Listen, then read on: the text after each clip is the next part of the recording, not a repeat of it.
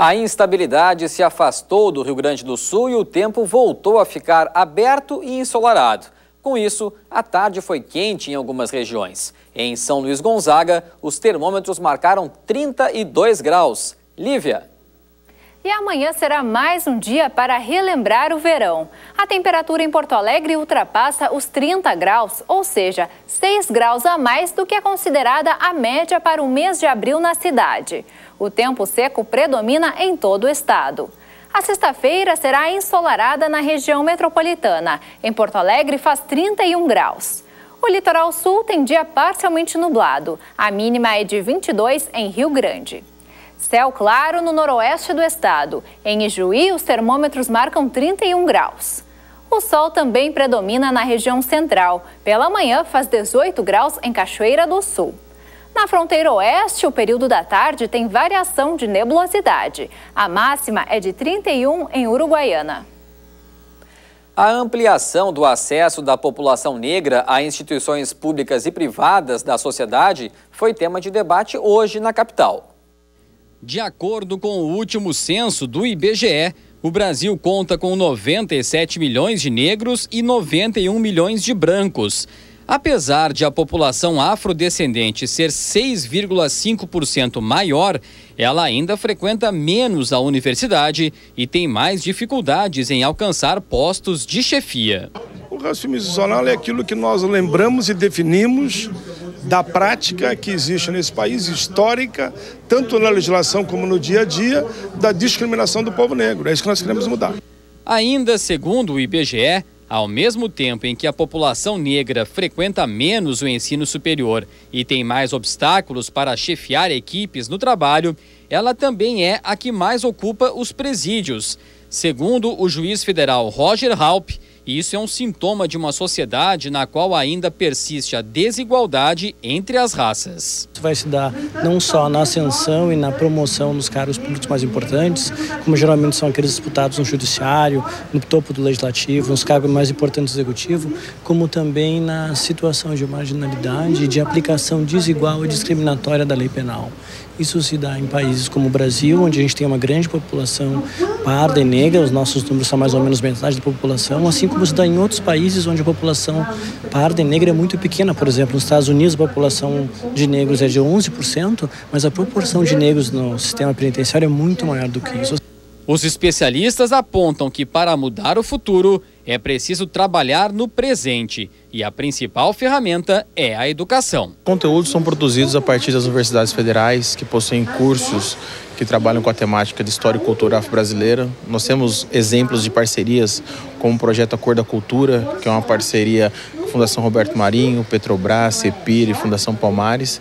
Nós trabalhamos com a formação de professores nos estados e também com conteúdo audiovisual, porque a cultura e a educação estão muito interligadas nesse processo de conscientização e de educação. Colocar dentro das políticas do Estado as questões relacionadas à integração de negros e brancos, que eu sou daquele que diz sempre que o importante não é você ser negro ou branco, o importante é você ser uma pessoa ética e que tenha compromisso com a construção de uma sociedade para todos. Isso só se dará quando efetivamente brancos e negros caminhem de mãos dadas para o bem comum. E um seminário estadual em Porto Alegre impulsiona o projeto Brasil Afroempreendedor.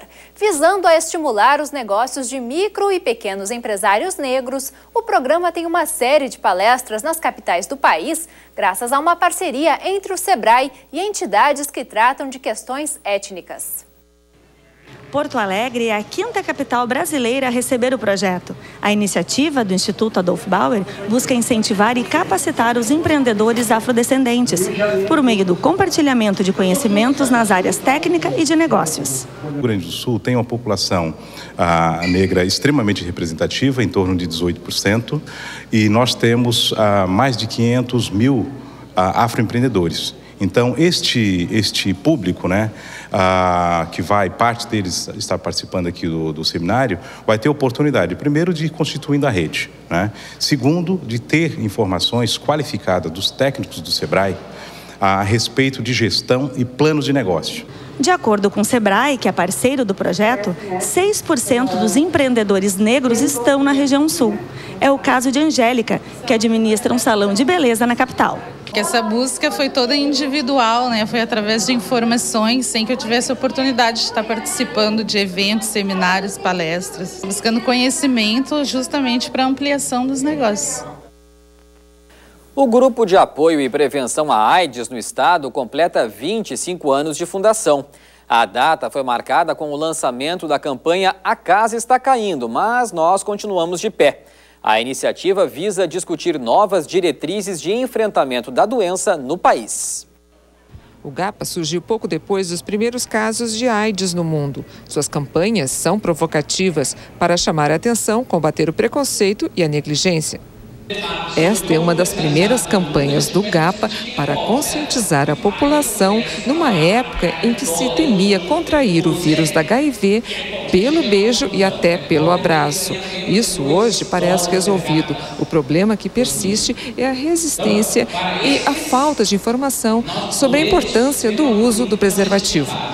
O Rio Grande do Sul é o primeiro dos estados brasileiros no ranking de casos de AIDS notificados, segundo o Ministério da Saúde. Para o GAPA, somente distribuição de preservativos, teste de detecção e tratamentos gratuitos não vão acabar com a epidemia no país.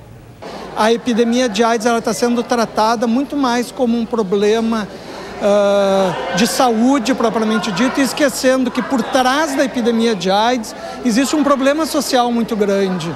A população que hoje se infecta muito com, com a AIDS são populações com histórico de exclusão muito grande, que não têm acesso aos serviços de saúde, que não têm acesso a políticas sociais e elas se infectam por uma conjuntura social. Porto Alegre também lidera entre as capitais brasileiras o ranking de casos de AIDS notificados. Nós temos fatores que estão relacionados à vulnerabilidade de determinadas populações, fatores que colocam a, a falta de acesso a determinadas populações, em especial populações mais vulneráveis que não conseguem acessar o serviço de saúde, né?